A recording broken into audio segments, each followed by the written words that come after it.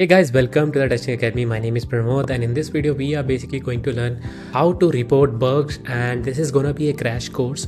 Uh, so let me tell you like this was actually a document that I have read uh, over online. I'm gonna give uh, I'm gonna give the link in the description also. You go through it.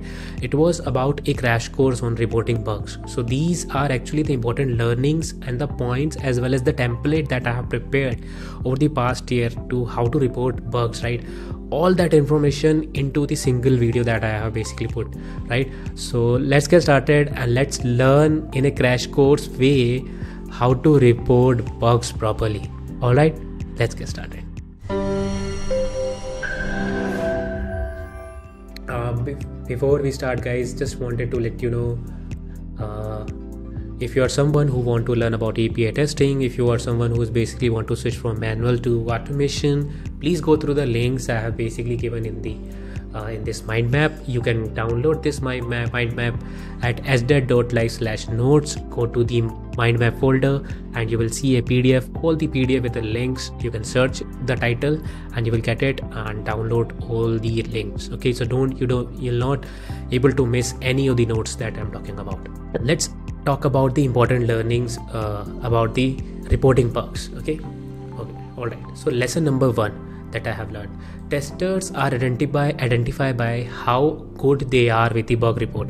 This is a really really important point. Let me tell you straight uh, you will gain the respect and credibility as a QA fresher or even as a QA with experience when you write a good bug report.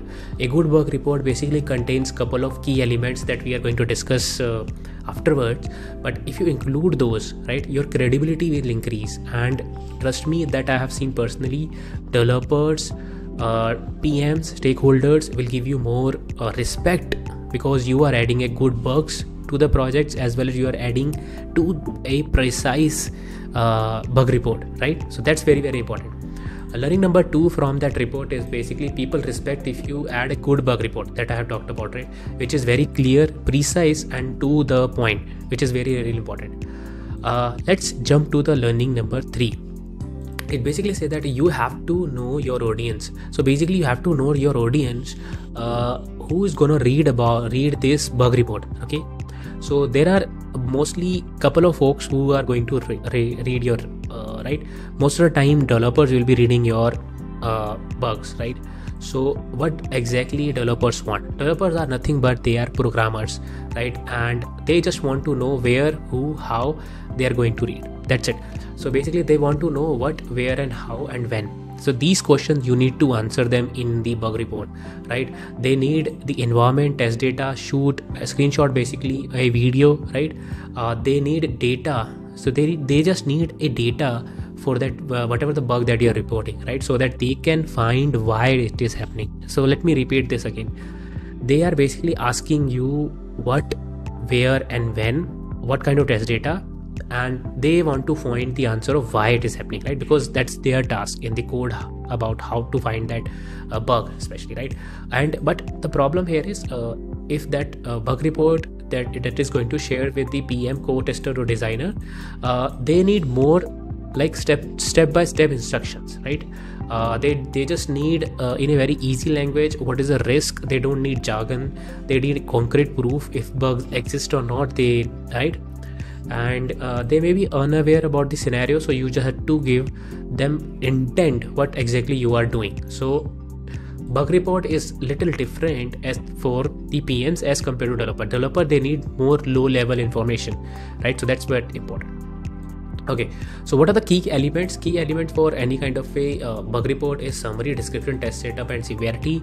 And uh, this is the template that i have discussed in my previous video also right? You can include uh, title steps to reproduce actual result expected result uh, priority severity screenshot environment and additional information like url uh, server log mobile version browser version and reporter name right? And if you go to this uh, link where i have given you one example in jira about it login is not working step to reproduce actual result expected result url environment some of the screenshot and here we have priority labels component and other thing. This is this demo that i have discussed with you guys right? And uh, you can basically uh, go through this template also which is as the this link which will be available in the description also. You can basically go through this all the important uh, key element that you can include in your bug report which will help you a lot okay uh, points to keep in mind while drafting the bugs which is very important now important stuff. Look look for du- duplicates. Don't uh, make, because duplicate bugs are very very bad impression it will basically uh, give you the credibility issues. So make sure that spelling mistakes avoid uh, include screenshots include test data uh, include the environmental details include the logs if possible. If you are sending it to developer 90% of the time you will be sending to developer. So make sure you uh, if possible you can include the logs. Uh, if you are including videos make sure they are compressed videos so that uh, there's not heavy like 100 mp 500 mp videos. Uh, if possible use naming conventions right? Add bug if you even if you have this is very important that uh, basically highlight if you have a doubt or if you want clarification also you can add a bug and after that you can mark it it's not a bug right? Avoid the qa qa dev relation which is very important. I what i have seen is people basically avoid adding bugs sometimes because they are friend with the developer. Don't do that. It's basically going to harm you in a bigger run. Make sure you add the bug and always add the bug if you think it's a valid bug okay awesome so checklist again uh, look for duplicates to the point right attachment telling the point telling about the past relation bug. So this is really important where if there's a bug which is basically similar to the previous bug you can tell them that uh, it's basically similar and it's a part of it right? And the very very important thing which i think you should include is risk of this bug. For example uh, you can say that if this feature is not working then the customer number or dealer these dealer will be affected and they are like 20% of our dealers. So you can give them them a certain data based on analytics right? So if that is possible please go ahead and do that so that they will fix them in on priority. Okay? Uh, i hope you get the point. In very crash course i have given you everything related to the bug report right? Uh, now links of course this is the basically document which i was talking about. You can go through this link which uh, basically talks about uh, crash course and it is uh, by pradeep and santosh. Uh, i think they these are my mentors kind of and they have given everything. You can go read this document which basically include a crash course on uh, on the reporting bugs. And if you want to download the template you can go through this. Uh, you can download here. As well as if you want to see the, uh, the jira bug that i was talking about you can go to this link and you'll see the similar one which is i think here that i have shown you right? You can go you can check it out. Let me make myself a little smaller so that you can look around okay? So this is kind of a dummy bug.